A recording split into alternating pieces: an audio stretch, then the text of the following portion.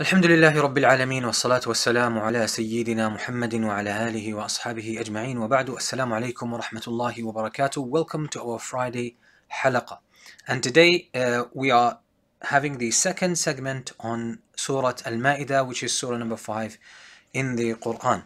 And we mentioned that Surah Al-Ma'idah, the central theme in this surah, is about commitment to contracts and agreements. And this is how it starts. So the first verse in the surah really gives a very strong statement about what the whole surah is about. يَا أَيُّهَا الَّذِينَ آمَنُوا أَوْفُوا بِالْعُقُودِ O you who believe, stay true to your commitment. Fulfill your contracts. And this shows the connection between iman, faith, that Im- what faith does, it actually makes humans the best they can possibly be. It just improves our humanity. It takes our humanity to the next level. That's really what iman does in essence and it's it's it's a it's a way of looking at what iman really does to humans. And this is a way to sort of mention it um, so organically naturally without you know making it technical in that sense. So the whole surah is about this and it's going to going to show us so many shades of what commitment uh, and fulfillment of contracts mean. And we mentioned that contracts here refers to different levels of contracts and agreements it could be as simple as our relationship with Allah subhanahu wa ta'ala, which is essentially uh, an agreement, a covenant, uh, which is already built in us, and that's our fitrah.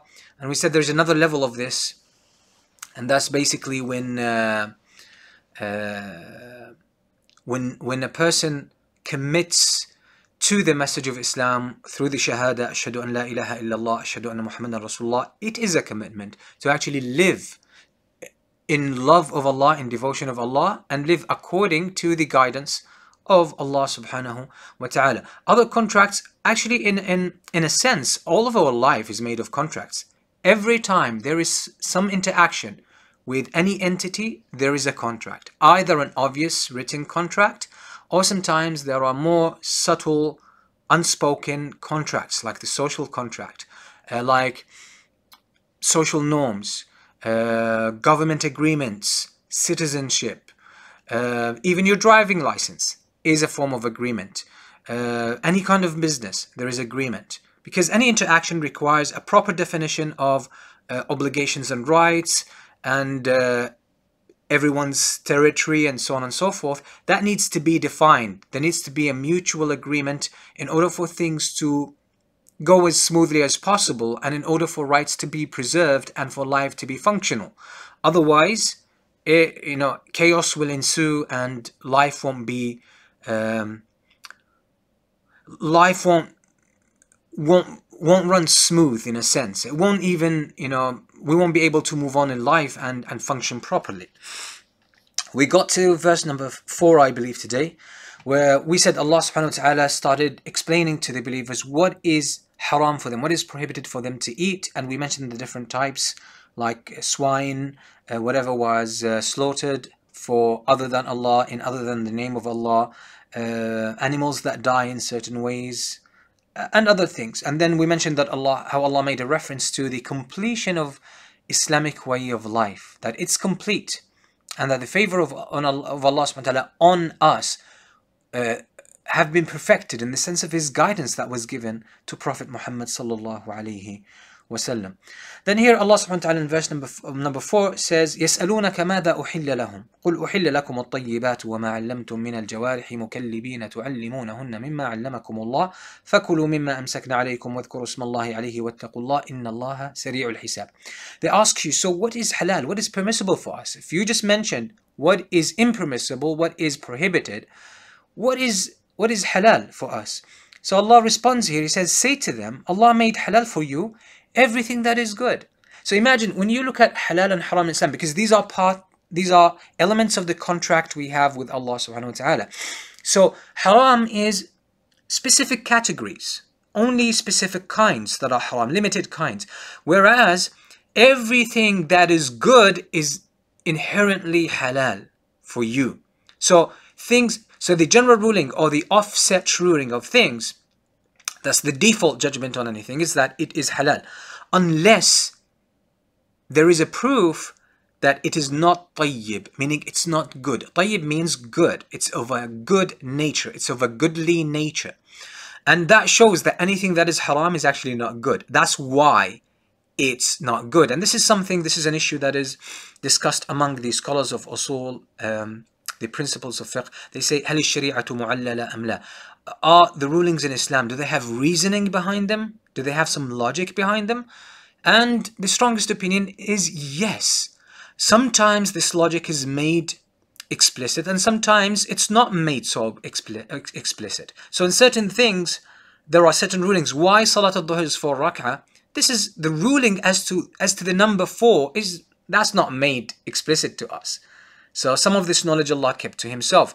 But something like why is alcohol and intoxicants haram, impermissible? Allah subhanahu wa ta'ala told us the reasoning behind it because it takes away your intellect. It brings about enmity among people, brings about uh, hatred among people, creates problems, right? It takes away the sense of responsibility.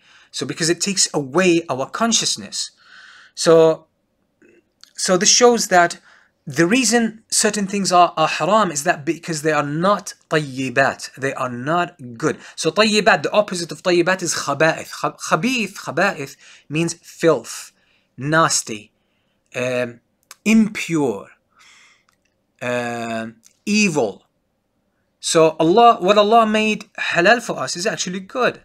And the things that He prohibited, He prohibited for a reason. A very basic reason is that they are harmful to you, either physically, in terms of dietary uh, value, uh, or they are harmful to you spiritually, or they are harmful to you in the way they manifest themselves in society. And and again, this is something like we could expand on just to talk about the nature of what you eat actually rubs off on you. And this is something Imam al-Qayyim mentions in his book At-Tibb al-Nabawi, Prophetic Medicine, is that uh, one of the reasons why Allah made eating wild animals, like prey animals, haram, is that whatever you eat, its nature sort of transfers to you. It leaks into the consumer.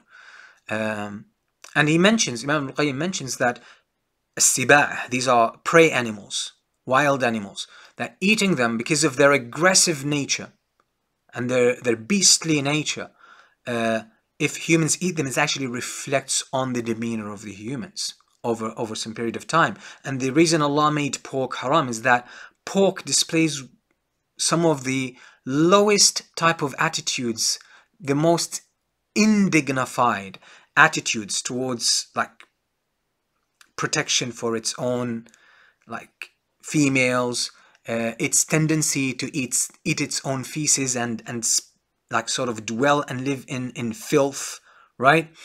So um, so he says this is this is one reason why it's prohibited because he says that people keep consuming it it actually is going to reflect on their attitude towards virtue that they they, they would stop they would have less resistance they would start to develop less resistance to a point where resistance to uh, lewd things will be removed from the human being. Okay, so this is some kind of an expansion. And that shows that everything that is made halal in Islam is a tayyibat, is because it's good.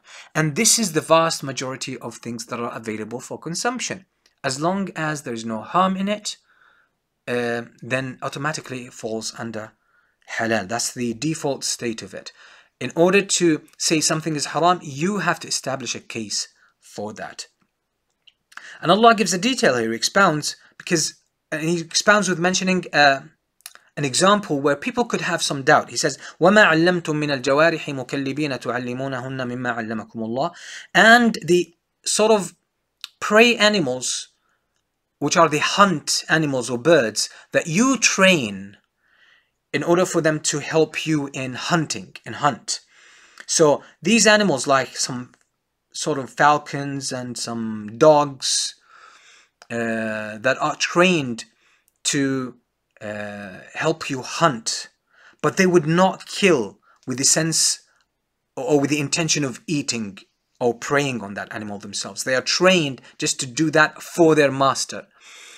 Uh, so if you train them, although these things might die before you sort of get to catch them and slaughter them properly, still it's halal for you. These are halal for you because they, this kind of animal that works for you or that you have trained becomes like the knife with which you slaughter this thing. And it's so some scholars say before you set off your or let loose your prey animal to catch whatever like uh, game you want uh, then you sort of mention the name of Allah subhanahu wa ta'ala. But even though if you catch it and you just mention the name of Allah it becomes halal for you. As long as this animal caught or this uh, this trained animal caught the the your the hunt or the game for that specific sake.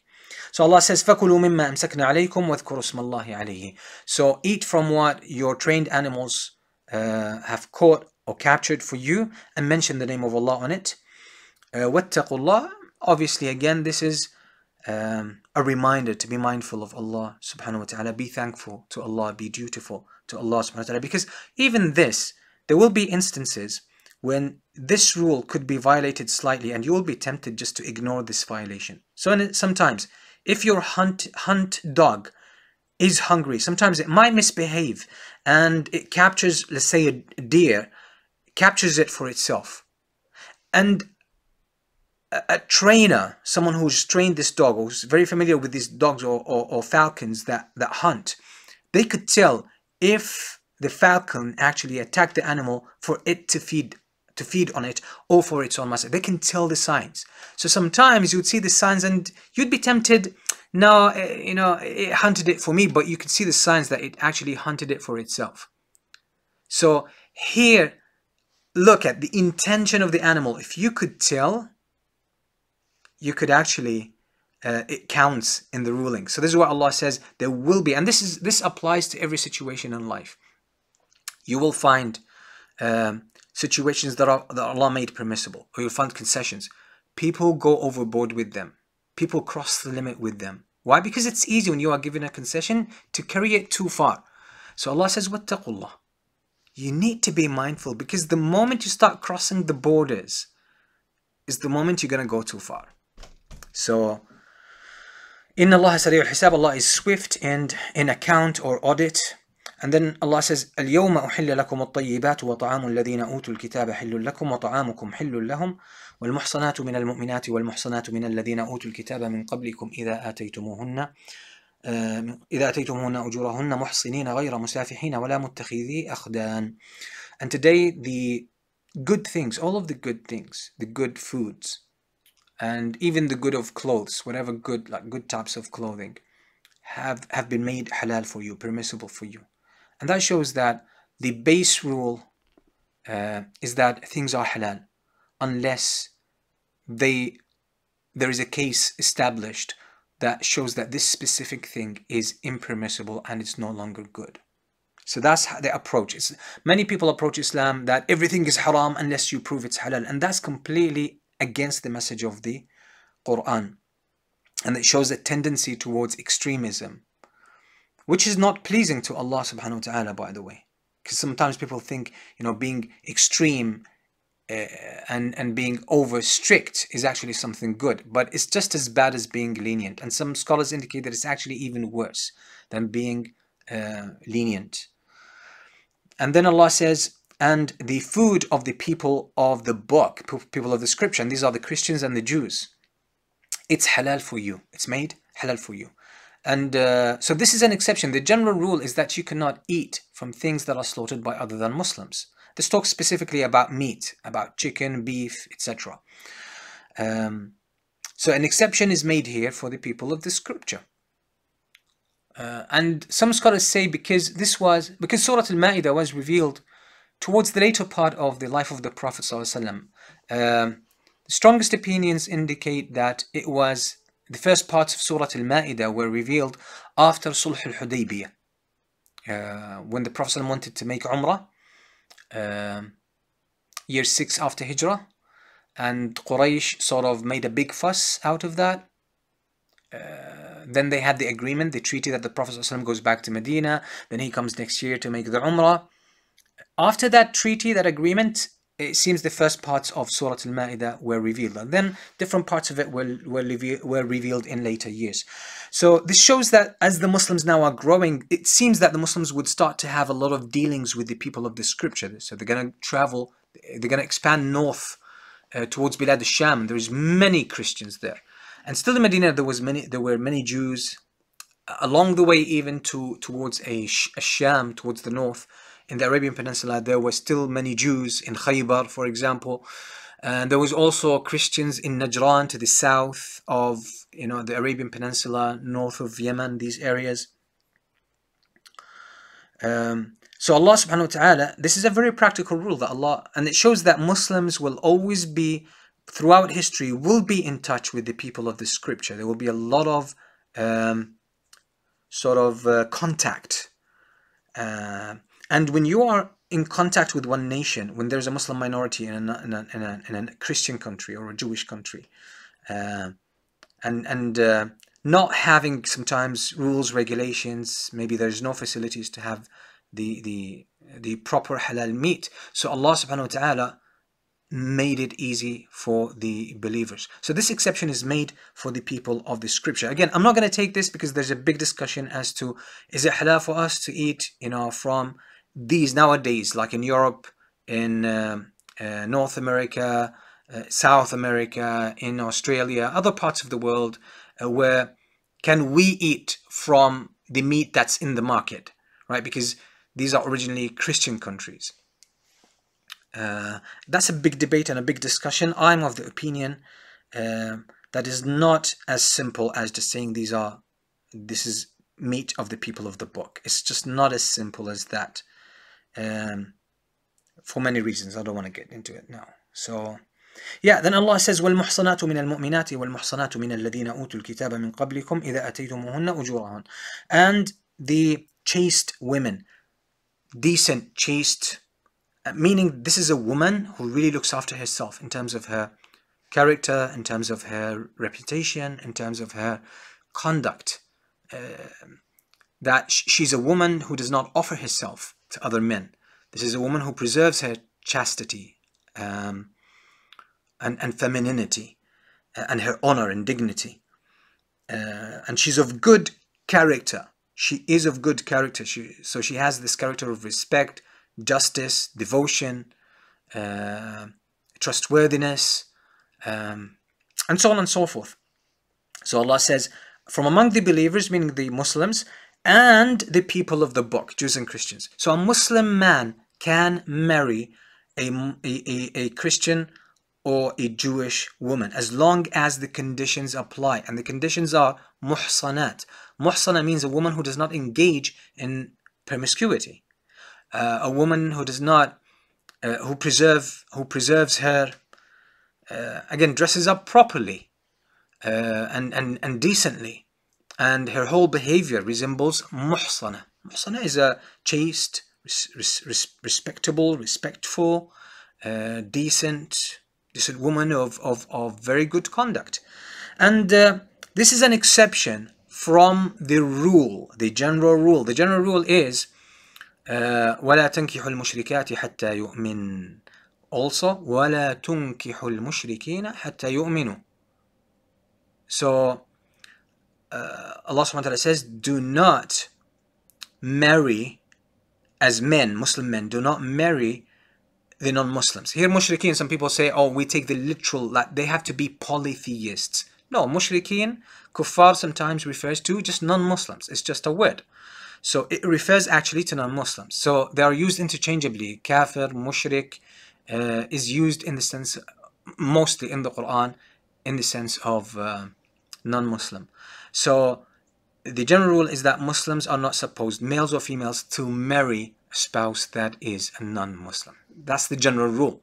That is sort of the, the default state. Allah here makes an exception that only Muslim men can marry Christian or Jewish women who are of such description. They're decent, honorable, they preserve themselves, they don't, they, they're, they're of very high uh, standard of character and so on and so forth. So some people find a loophole in this and they just want to sort of, uh, if they fall in love with a, with a lady and she's like, let's say she, she's a Christian or a Jew and but not that great behavior, not that great character. Especially these days, it's very hard to such to find people of such you know, high caliber in terms of, of characters, very high. So this is sometimes as a, a reason or a loophole for people to sort of, you know, do what they desire, use the religion for their desire.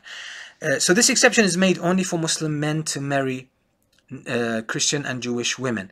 But there is no exception that is made for Muslim women to marry a Jewish or a Christian man. This is clear cut and there is an ijma, there is a consensus among the Muslims, among the Muslim scholars, that this is impermissible. Because, the, again, the basic rule is that it's impermissible, but just one exception is made here. And any other sort of interpretation is actually, is, is, uh, is a motive, it's, it's based on motivated reasoning, it's based on fishing for the, you know, for excuses here and there and trying to create some kind of murkiness around the issue and then, you know, cherry picking one's preference when it comes to this.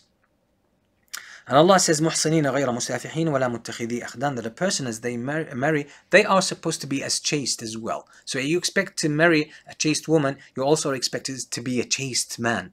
So it's not just, and, and this happens, it's very common in cultures, a lot of like Muslim background cultures, is that there is so much emphasis on the woman being chaste and, and honorable but it seems like hey, a man can get away doing what they want.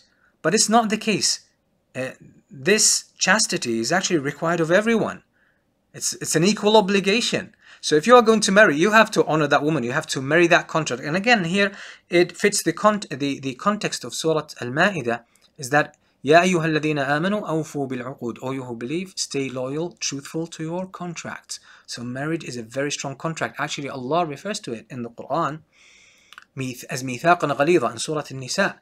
It's a very emphasized, uh, highly held contract. It's a thick contract. It's not like a, it's not a, it's not something to be taken lightly. So you are supposed to be as chaste and as honorable and as loyal as you expect that woman to be. غير مسافحين ولا متخذي أخدان someone who's engaging in promiscuity or taking girlfriends or boyfriends etc right um, then Allah says ومن يكفر بالإيمان فقد حبط عمله وهو في الآخرة من الخاسرين whoever violates their iman the true faith then they will ruin their own good deeds and they will be from among the losers then here Allah talks about uh, the uh, wudu يا أيها الذين آمنوا إذا قمتم this is verse number 6 إذا قمتم إلى الصلاة فاغسلوا وجوهكم وأيديكم إلى المرافق etc. So Allah describes that before you stand up for prayer you basically do these acts wash certain parts of your of your body as wudu as the minor ablution uh, in preparation and this is this is physical purification and it parallels the spiritual preparation or spiritual cleansing that prepares you to, to be able to stand in the presence of Allah subhanahu wa ta'ala who's, who's tayyib, who is the most pure.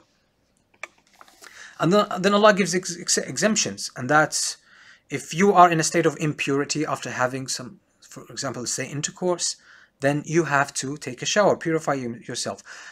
And again, here are, this is a contract between you and Allah. But again, contract between you and Allah, there is always the spirit of the law.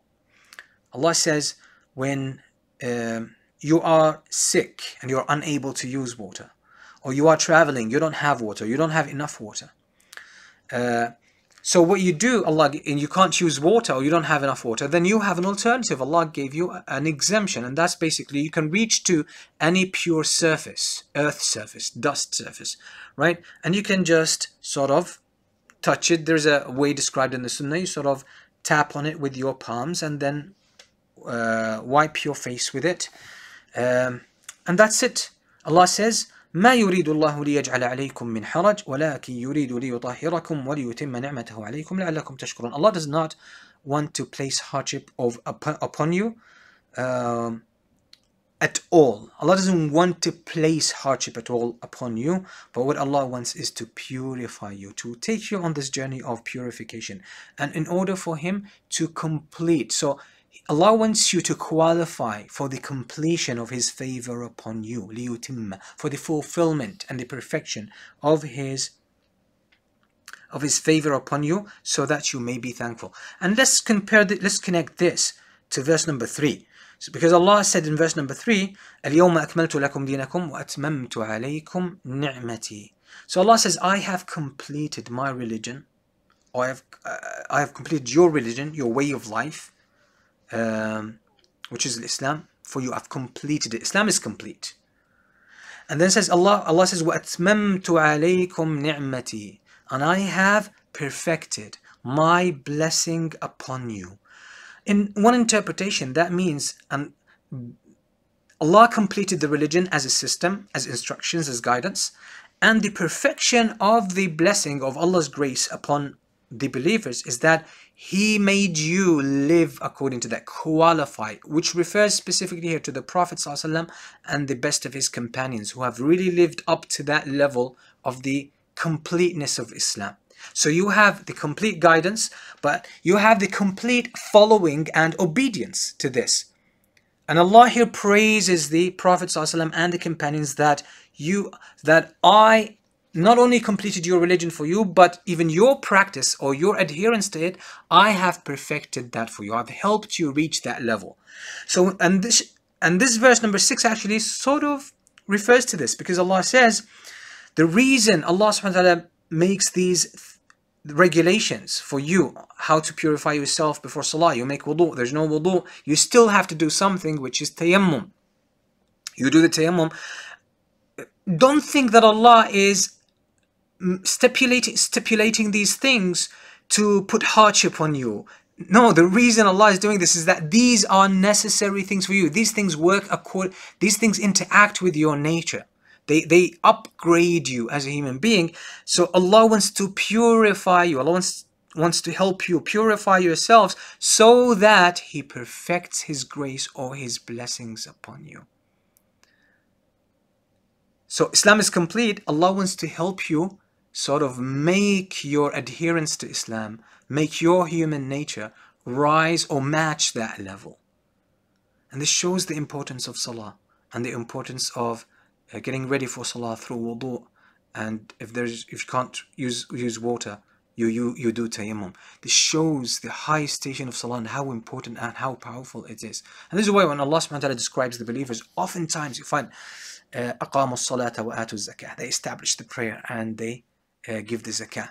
This is the play so the the best thing you can do to purify yourself to elevate yourself to increase your iman to become a better person is salah. But this is salah that is done properly. Salah that is prayed not only physically but mentally and spiritually. It's full presence. It's a complete engagement with with the connection, uh, in the connection with Allah subhanahu wa taala. Yeah, so Allah says, uh, don't think all of these regulations. Sometimes people might get sort of fed up with some regulations but again, this is the impatience of the self, of the nafs. And what you need to do when you feel that is to remind, to remember that all of these things are not stipulated as a burden, but they are actually there to help you qualify, to help build you. Something similar to that is when you, for example, get involved in a competition, some kind of physical activity, some kind of a sports.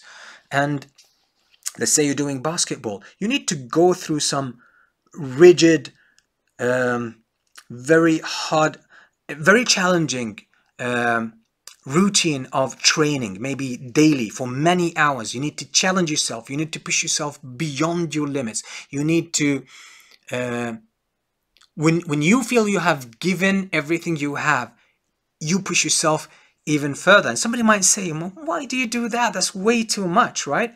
But the thing is, when you see what's beyond it, when you see what's the outcome of this, is that when when you feel that you have given everything and then you push yourself one step further is that you actually gain so much skill because of that small step that you have taken, because of that extra mile that you have gone.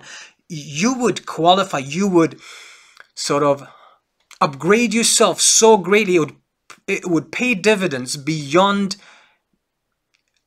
uh, I mean, in a scale that is far greater than previous steps because you are reaching an area of exponential growth now. Even very little multiplies and, and, and gives benefits far greater than maybe a hundred similar st steps at an earlier stage in the in, on the journey.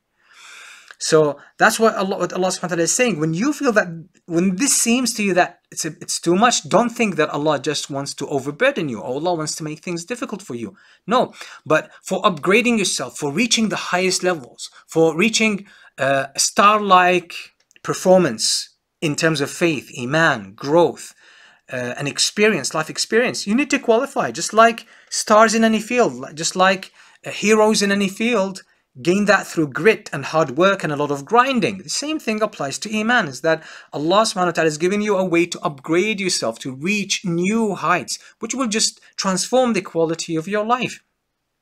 So Allah wants, uh, wants you to match up to the perfection of Islam in your performance. So Allah is guiding you gently through that. So it's all for you. It is all for you. So don't think Allah is going to gain anything from that or Allah is trying to make things difficult. And here a verse comes to mind, which is the end of Surah Al-Furqan. Allah subhanahu wa ta'ala says, مَا يَفْعَلُ اللَّهُ بِعَذَابِكُمْ إِن شَكَرْتُمْ وَأَمَنْتُمْ Don't think that Allah wants to make things hard for you. Allah wants to punish you.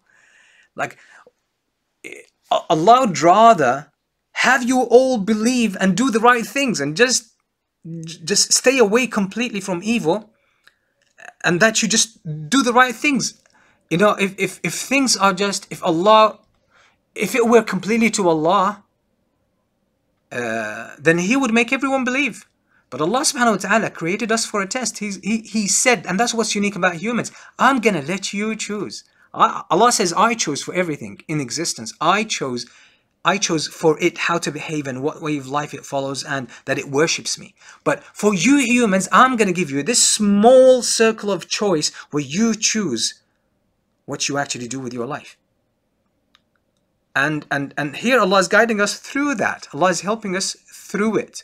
So, and Allah wants us to, Allah loves that we actually succeed and that we do our best in this exam. But Allah is not gonna do it for us. He is he, he wants us to choose it. That's the difference. Uh, yeah, so Allah subhanahu wa ta'ala says, and so that He perfects His blessing upon you, so that you may be thankful. You may be thankful for Islam. You may be thankful for the perfection, for the completeness of this great gift of Islam, this, this beautiful asset that you have. So that's what Allah wants to do. Then Allah says, with uh, verse number 7, وَاذْكُرُوا نِعْمَةَ اللَّهِ عَلَيْكُمْ وَمِيثَاقَهُ الَّذِي وَاثَقَكُمْ بِهِ إِذْ قُلْتُمْ سَمِعْنَا وَأَطَعْنَا وَاتَّقُوا اللَّهَ إِنَّ اللَّهَ عَلِيمٌ بِذَاتِ الصُّدُورِ This is verse number 7. And remember the blessing of Allah and upon you, which is the deen of Islam, and your agreement with Him, your contract with Him, when you said, we hear and we obey, you have actually made a conscious, a conscious commitment to obey Allah subhanahu wa ta'ala. And Allah says, be mindful of Allah, be careful, because Allah knows what's in, in your hearts. Allah knows what's in your chest. Allah knows what you conceal. So Allah is with you all the time.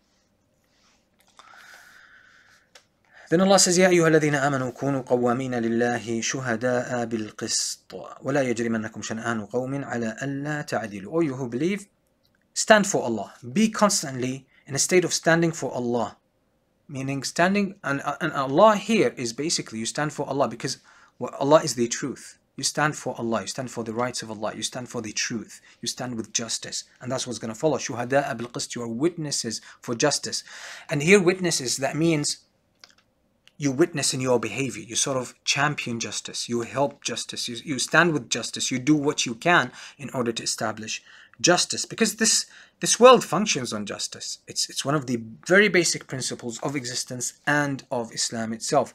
And then Allah says, and do not let the hatred or the animosity you have towards a people push you towards injustice. Because, I mean, again, humans have this tendency, this impulse towards injustice. They have this bias. Allah acknowledges that this exists. But what you have choice with is not whether it exists or not, because you're a human being, you have emotions, you have impulses, you have feelings, sometimes you can't control them properly. You don't have control. But what you have control too is how you respond to them. Right? So Allah says, اعدلوا هو أقرب للتقوى. Be just, be fair. So this is closest to taqwa. Uh, and this shows that taqwa comes from, from doing the right thing. Uh, and uh, again, fear Allah, indeed Allah is aware of what you do. Then Allah says that He promised the believers and those who those who believe and do righteous deeds to give them forgiveness and a great reward, and those who disbelieve and uh, lie or reject the signs of Allah, these are the people of the hellfire. And again, because the believers have stayed true to their commitment with Allah, natural commitment, fitrah, human nature, whereas those who betrayed their nature, as we said last week, those who betrayed their fitrah, they're actually, they're just going to end up in punishment because they've betrayed who they are. Um,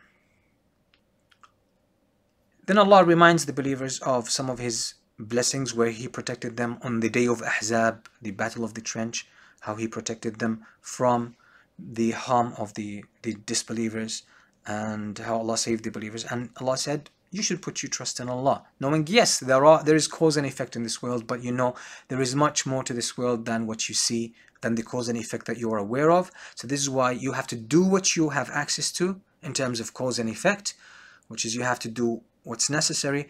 But again, you put your trust in Allah because Allah is in charge of everything. Then here Allah starts making a reference to the people of the scripture. Allah makes a reference to the children of Israel and how uh, basically he took 12 representatives from them according to the tribes and then Allah said that I'll be with you as long as you establish the prayer, give zakah and you believe in my messengers including Prophet Muhammad when he comes, when he arrives. And you support them and you support the cause of Allah, I shall forgive your sins and allow you into paradise unto which rivers flow. But whoever, so that's a covenant, that's a contract with Allah. Whoever denies or acts in denial to this, then these people have gone astray. Then Allah says, because they have violated the contract, we curse them. And we made their hearts harden. So their hearts became hardened. And thus they lost, they lost life of the heart. They lost themselves. They lost the essence of themselves. And so they became shadows. They became mere shadows. They are absent in their life. They are absent. They live their lives absent, truly absent. They're not there in their life. And that and that's something inshallah hopefully in the future we'll come to explain. Because there's two levels of life. There is the very basic animalistic level, which is physical life, but there is a higher experience of life that that is way beyond comparison with the animalistic life, and that's life of the heart. So when the heart hardens, you know, that higher order life is blocked, and the person misses out on it.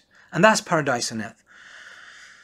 So Allah says, we made the hearts uh, harden, and then what that led them to, that manifested itself in the form of them uh, changing the word of Allah, changing the scripture, distorting it, messing, uh, messing with it. And they, thus they started forgetting and losing some of the divine guidance.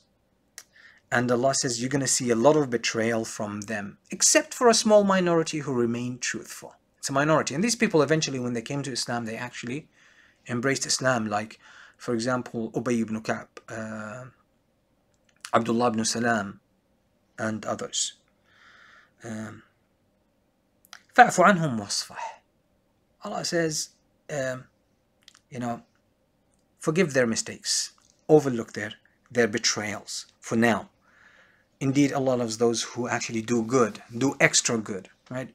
Then Allah makes a reference to the Christians that we have, this verse number 14, that we had a covenant with them, so they forgot some of it they left. So because nasiya in the Arabic language could mean forget and could mean neglect, both of, both of them. So they neglected some of what they were reminded with, some of the scriptures, so thus we brought about enmity amongst them. And you will find this among the Christian denominations.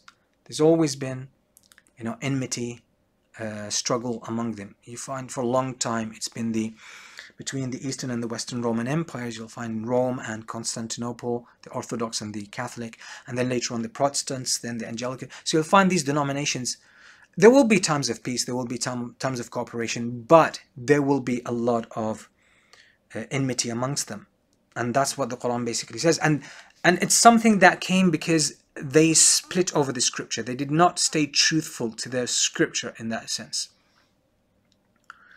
Um, and, and we know from, from history that when the when the when the Muslims, when the Ottomans were took over Constantinople, many of the residents of those lands, of the Christians, Orthodox Christians, actually preferred the Muslims to take over rather than the the Rome itself, the Catholics, sort of taking over because Constantinople, but by that time, uh, or the Eastern Roman Empire by that time, Byzant, uh, Byzantium, it grew very, very weak. So it was only Constantinople. For, for the rest of it, it really lost a lot. Um, uh, it was so weak that it was left with no option except to uh, seek the help of its uh, long-standing enemy in Rome, the Catholics, in order to be able to protect themselves against the Ottomans, against the Muslims at the time. Uh, but many of them actually, many of the population actually preferred to live under the Muslims than live under the the the Catholics. There was there was there were many bloody wars, you know, between them, anyways. Okay, so then Allah Subhanahu wa Taala, verse number fifteen says, "O people of the book, our messenger has come to you, clarifying many issues to you, many things in your scriptures that were unsettled. He brought the final word to them, and he would leave a lot of the things uh, that you have changed about your scripture, he would leave them because it's not, you don't want to get lost in the details here, right? So he's just corrects as, as much as necessary. He brings things to conclusion as much as necessary. Uh, then he says, قد جاءكم من الله نور وكتاب مبين. What has come to you is uh, light from Allah and uh, a clear book or a clarifying book, a book that is clear in itself and that clarifies and explains the truth very plainly.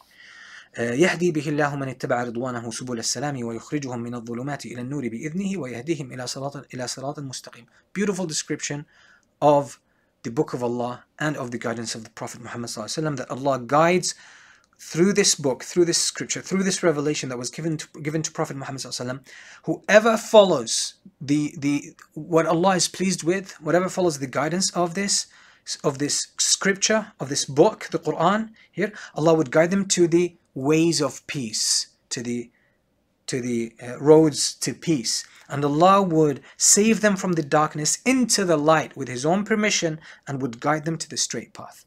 And it shows that anyone who holds on to the Quran, remains truthful to the Quran and open to the message of the Quran without having to read into it, they would actually be guided. That's a promise by Allah subhanahu wa ta'ala. Then Allah goes on to clarify more how the people of the scripture did not remain truthful to their contracts with Allah, where Allah says, لَقَدْ كَفَرَ الَّذِينَ قَالُوا إِنَّ اللَّهَ هُوَ الْمَسِيحُ ابْنُ مَرْيَمَ Indeed, the people who said or who claimed that uh, that Allah is the Messiah, uh, son of Mary. So that anyone who claims that Jesus is the son, is Allah, he's himself Allah, he's God, then these people have committed a blasphemy, a disbelief, an act that violates faith and annihilates and, and annuls it completely. So, um, yeah, so it's, it's, it's the biggest violation because you're violating the very cornerstone of what revelation is, basically, and what the relationship between us and Allah is. You're, you're, you're, you're making a false claim on the very nature of Allah subhanahu wa ta'ala. Uh, that is that is opposite to what he really is. Okay, so then Allah subhanahu wa ta'ala clarifies this, and Allah clarifies or responds to some of their some of their claims where they said that وقالت اليهود والنصارى نحن أبناء الله وأحباؤه and the Jews and the Christians they said we are the children of Allah and we are the ones that He loves. Uh, Allah responds to how how you deal with that and how you logically sort of uh, you know expose this this kind of untrue claim uh, that Allah subhanahu wa ta'ala what he wants from humans is that for them to remain truthful and to follow the truth that's the affiliation we have with Allah there is no blood relationship there's no favoritism it's as the Prophet ﷺ says لا فضل لعربي على أعجمي ولا لأعجمي على عربي إلا بالتقوى there is no favor no merit for anyone no excellence no uh, like uh, standing for anyone over another person, whether Arab to non-Arab, uh, white to black, black to white, etc., any color, except with taqwa. That's the only criterion with Allah subhanahu wa ta'ala. So titles, names, affiliations, that's these are just they're just categories you create. These are just names and words you create. It's about the reality of your relationship with Allah, your relationship with the truth and your adherence to it. Um, then Allah subhanahu wa ta'ala mentions a story, I'm going to close with this, uh, which is Allah shows the violation of the followers, some of the followers of Prophet Musa, Moses alayhi salam, how when he said uh, to them, uh, remember the blessing of Allah because blessings of Allah shows that there is a commitment. When someone is kind to you, you have a commitment, unspoken commitment to you. This is a social contract. This is a natural contract we have. Someone has been honest with you, someone's been kind to you, you're expected to be kind to them in return. It's just it's it's normal. It it doesn't need to be spoken. It's understood. And if someone is not does not respond this reciprocity, if someone does not respond, then there is something wrong with them. So Allah, He says, remember the blessings of Allah upon you that He sent you guidance through prophets, messengers, and Allah made you kings. Allah made you dominant over the earth Kings, Musa alayhi salam was given so much power. Dawood alayhi salam was given so much. Sulaiman alayhi salam, these were kings. Um, وجعلكم وآتاكم ما لم يؤتي أحد من العالمين Allah gave you what He didn't give other humans. He gave you so many merits. He said, enter the sacred land, which is the, the, in Palestine. Enter the sacred land uh, that Allah wrote for you, prescribed for you, and do not run away. Do not turn back on your heels. So otherwise, lest you be you lose. They said, "Oh, there are very powerful, mighty people in this in this land, and we're not going to go there. If they leave, we will go." Right? Although they are promised victory, so then two from the believers among them, and some narrations indicate that this was actually Musa alayhi salam and Harun, they said uh, that if you just enter through the gate, Allah will give you victory over them. It's very simple, like you sort of guaranteed victory. You just have to cross or you have to march through your fear. You have to go through your fear. You might experience a little bit of loss at the beginning, but that's just inevitable. But you are guaranteed victory as long as you break into the gate. And put your trust in Allah they eventually look at the response they said and that shows you that like favors and blessings don't even do not pay off with these people like they're, they're not truthful they're not responsive positively to these blessings قالوا يا موسى إنا لن ندخلها أبدا ما داموا فيها فاذهب أنت وربك فقاتلا إنها هنا قاعدون they said O Musa we will not um, enter it as long as these people are in it Forget about that. If you want, you go with your Lord and fight. We are here, we're going to sit here and we're going to watch. You go and fight with your Lord. So here, uh, Musa alayhi salam turns to Allah and says, Oh Allah, inni la amliku illa nafsi wa akhi. Oh Allah, the only ones I have control over, the only ones I can bring to obey your command to enter this city is myself and my brother Harun. So make a judgment between us and these rebellious people. Allah says, فَإِنَّهَا مُحَرَّمَةٌ عَلَيْهِمْ أَرْبَعِينَ سَنَةً We're going to prohibit them from entering it. They're going to stay in a diaspora. They're going to be lost in the land for 40 years. And do not feel bad. Do not have any pity towards those rebellious people. Compare this to the response of the companions anhum, before the Battle of Badr because the Prophet ﷺ set off Medina to capture the caravan, which again was making business trade using the assets that were confiscated of the people who had migrated from Mecca to Medina. So the Prophet ﷺ set off to capture it. Yet Abu Sufyan managed to escape. Quraysh put together an army. The Muslims were had only their basic weapons, sword. Each one had their own sword. That's it. Maybe a little bit of archery. Um, uh, and and Quraysh brought a fully equipped army with, with about a, th- a thousand people. The Muslims were greatly outnumbered. Then the news reached the Prophet ﷺ that the caravan escaped, Quraysh brought an army, what are you going to do? So the Muslims had to make a very difficult choice, tough choice. Now they are camping, they're ready, they were ready to fight or capture the caravan, but they were not ready for a full-fledged battle. But now they have to face, if they withdraw to Medina, it's already a loss. It's a very bad reputation for Muslims, and that army might actually march to Medina, the army of Quraysh. So very, very risky decision. Or let's actually fight this army completely outnumbered, no proper equipment, we don't have our arms properly. So what are we going to do? The Prophet ﷺ wanted to march forward and face that army, put his trust in Allah. Um, obviously, the Muhajirin were committed, but the Prophet ﷺ says, What do you think, O Muslims? They said, We're going to do this. Yeah, we, we, are with you. Do whatever you want. Then the Prophet ﷺ again said, What do you think? Ashiru alayya ayyuhal qawm. You know, what's your consultation? Then, I think it was Sa'd ibn Mu'adh, Sa'd ibn Ubadah, Sa'd, ibn Mu'adh, I believe. He said, Ya Rasulullah, كأنك O Messenger of Allah, it seems like you want us to talk, we the Ansar, the people of Medina. Because the agreement between the Prophet ﷺ and the Ansar is that to protect the, Mus- the Prophet ﷺ in Medina. There was no mention of outside of Medina because it did not even occur to them. So the Prophet ﷺ said, Yes. Sa'd ibn Mu'adh said, O Messenger of Allah, we have promised to protect you just as we protect our own families, our own selves. And then he said, O Messenger of Allah, even if, if you cross the ocean, we're to cross it with you. And the ocean for the Arabs was such a tough thing, by the way. Like, if you go into the unknown, we're just to jump behind you, regardless. We don't know what's to happen, but we're just to, we, we are committed. Again, that's a sense of commitment, right? Then he says, we will not say to you like the Bani Israel, like the children of Israel said to Musa اذهب أنت وربك فقاتلا إنا هنا قاعدون. We're not going to say like those people said to Musa that you go and fight with your Lord, we're going to sit here and watch.